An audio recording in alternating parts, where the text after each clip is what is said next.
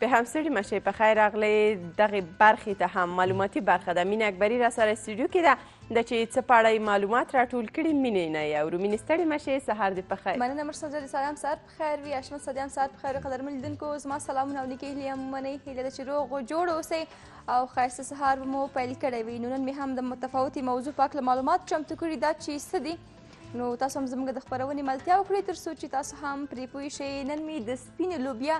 د ګټو او د زیانونو په هکله معلومات چمتو کړي دا چې سپینه لوبیا زموږ او ستاسو روغتیا ته څومره ګټې رسوي او څومره زیانونه لري نو زه به په پیل کې د سپینې لوبیا ویټامینونو ته اشاره وکړم په سپینې لوبیا کې شته ویټامینونه لکه ویټامین ای ویټامین بی ویټامین ډي ویټامین سي هم شتون لري او همدارنګه سپینه لوبیا د ویټامینونو منبع ده په سپینه لوبیا کې چې کوم ویټامینونه دي زموږ او ستاسو د روغتیا لپاره ډیر زیات اړین دي او مهم دي همدارنګه د سپینه لوبیا خاصیت چې کوم ده نه ګرم ډېری کسان په دې فکر دي چې لوبیا ګرم خاصیت لري سره لوبیا صحیح ده چې ګرم خاصیت لري خو لیکن سپینه لوبیا نه ګرم خاصیت لري او نه یخ خاصیت لري متعادل خاصیت لري یعنی که وخوړل شي په همدغه موسم کې خو ډېره ښه به وي ځکه چې کوم موادونه او کوم ویټامینونه چې په سپینې لوبیا کې دي زموږ او ستاسو د روغتیا لپاره خورا ګټې رسوي او بل دا چې په څېړنو کې ویل شوي هغه کسان چې د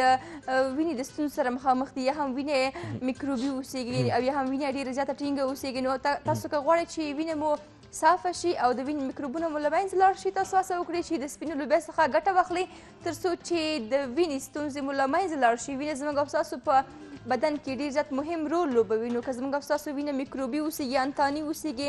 نو وروسته له هغه نه بیا زموږ او ستاسو روغتیا ته خورا خورا زیانونه رسوي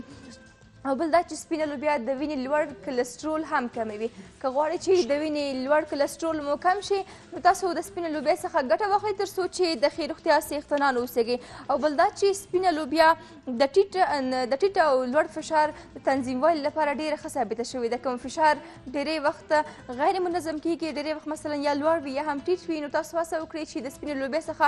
ګټه واخلئ تر څو چې ستاسو فشار تنظیم اوسېږي او بل دا چې سپینه لوبیا ادرار راوړونکې ده همدغه دا کله چې ادرار مثلا زیات شي نو وروسته له هغه نه زموږ او ستاسو د بډوډو د پاکوالي لامل کېږي خو لیکن دې ټکي ته باید تاسو پام وکړئ هغه کسان چې د ګردو یا هم د بډوډو تیږي لري تاسو هڅه وکړئ چې د لوبیا د خوړلو څخه ډډه وکړئ خو لیکن که د بډوډو تیږي نه لرئ نو تاسو په دې صورت کې هڅه وکړئ چې د سپینې لوبیا څخه استفاده وکړئ تر څو چې ستاسو بډوډي پاک شي او کوم میکروبونه چې ستاسو په بډوډي کې دي هغه بالکل له منځه لاړ شي او بل دا چې په سپینې لوبیا کې شته پوتاشیم د همدې لامل کیږي چې زمونږ او ستاسو د زړه حرکات تنظیم کړي پوتاشیم او سودیم چې په سپینه لوبیا کې دي د زړه ضربان چې کوم دي دا په سمه توګه باندې تنظیموي او تر څو چې زمونږ او ستاسو زړه سالمه اوسیږي نو زمونږ او ستاسو روغتیا به سالمه اوسیږي زړه زموږ او ستاسو د بدن هغه غړی ده چې که مو زړه مثلا د زړه تکلیفونه ولرو نو زموږ او ستاسو ژوند ناممکن ده او ډیر زیات ستونزمن به وي او بل دا چې د زړه د پیاوړتیا لامل هم کیږي سپینه لوبیا که غواړئ چې زړه مو قوي اوسیږي د زړه د حملو څخه وژغورل شي تاسو د سپینه لوبیا څخه استفاده وکړئ یو بل ټکي ته هم باید تاسو پام وکړئ که سپینه لوبیا لږ کلکه اوسي نو ستاسو د مسمومیت لامل هم کیږي د معدې د خرابوالي لامل هم کیږي هڅه وکړئ چې لوبیا په سمه توګه باندې پخه کړئ ښه یې نرمه کړئ چې ښه یې نرمه شي وروسته له هغه نه یې وخورئ که مثلا په سمه توګه باندې نرمه ونه اوسېږي نو هم ستاسو د معدې کوم ګاز چې د ګاز هم لوړوي د معدې د تکلیفونو سره مو هم مخامخ کوي او د بدن کوم هاضمه سیستم چې ده هغه هم بالکل خرابوي او زموږ او ستاسو د روغتیا د خرابوالي لامل کېږي بل دا چې سپینه لوبیا زموږ او ستاسو د پوستکي په ښکلا کې هم ډېر زیات مهم رول لوبوي همدارنګه سپینه لوبیا د ویښتانو د اوږدوالي او د ویښتانو کو وړ ویټامینونه چې ویټامینونه چې دي هغه هم پوره کوي او د ویښتانو د ښکلا او د توروالي او د زلال لامل کیږي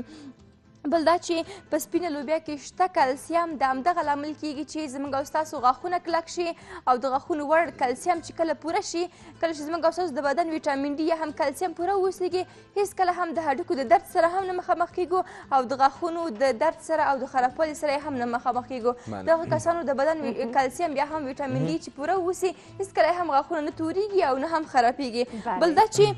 په سپینه لوبیا کې تقریبا شپږ ویشت ګرامه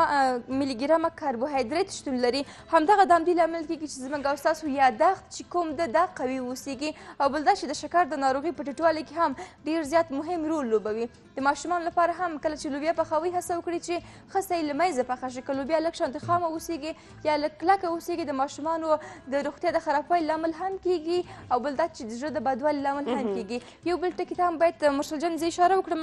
که لوبیا څه چې بلکې هر ډول خواړه چې اوسیږي که په مکرر شکل سره په تکرار شکل سره هر ورځ موږ تاسو وخورو زموږ او تاسو د روغتیا د خرابوالي لامل کیږي د وزن د زیاتوالي لامل کیږي او د یاداښت د ضعیفوالي لامل کېږي بله ډېره زیاته مننه ډېره مننه جانې